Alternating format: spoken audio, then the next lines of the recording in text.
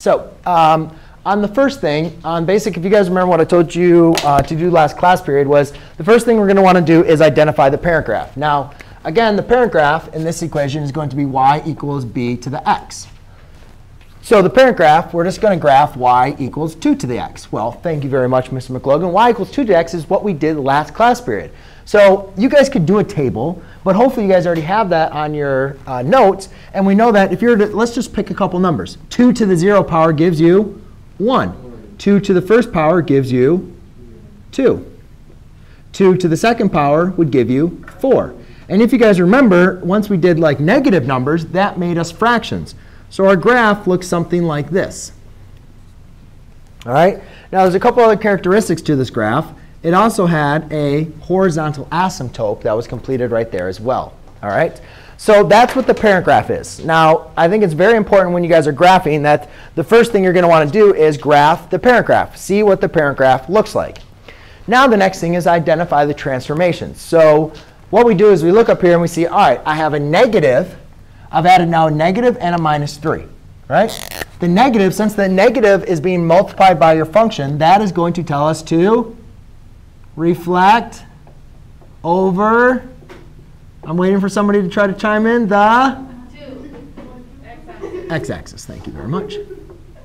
It's going to reflect over the x-axis. Just think of it like parabolas, guys, right? Remember when your parabola was, was like a was negative, then you reflected down. It's the exact same thing.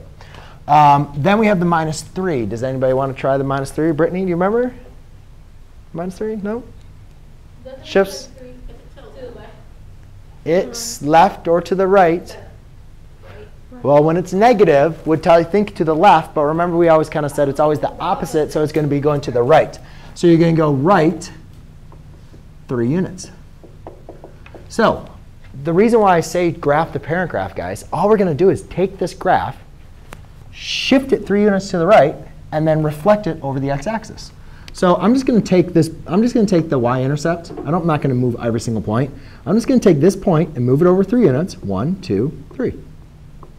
Then I, when you reflect something over the x-axis from your geometry class, you remember you just kind of like flip it over, right? It's like a book, reflecting it over.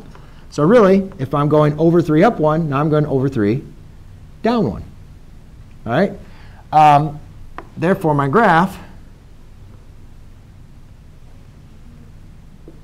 is now going to look something like that. I reflected this point. I took this point and moved it three units to the right. Then I reflected it over the x-axis, flipped it over. Because that's what the reflection does. Now the next thing is identify the asymptote. So if you guys remember, the asymptote here is at y equals 0.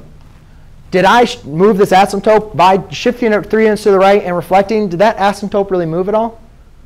No. So the asymptote is still going to be at y equals 0. Now let's identify the domain and the range.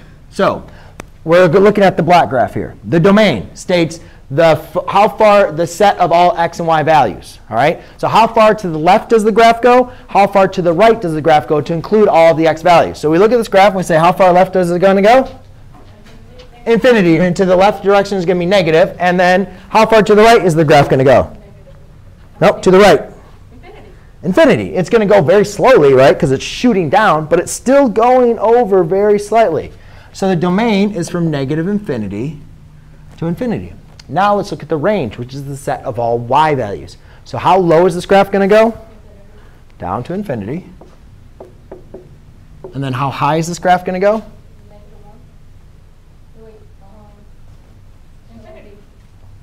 Well, Remember, what is this asymptote? What is an asymptote again?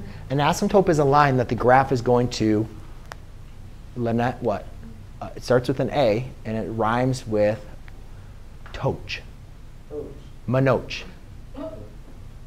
It rhymes with panoch. Um, approach. It's where the graph approaches. So this graph approaches this asymptote. What is the asymptote? What is this asymptote at? Zero.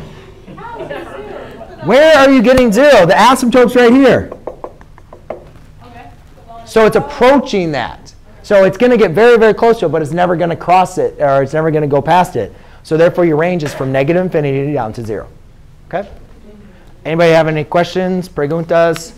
Um, la China.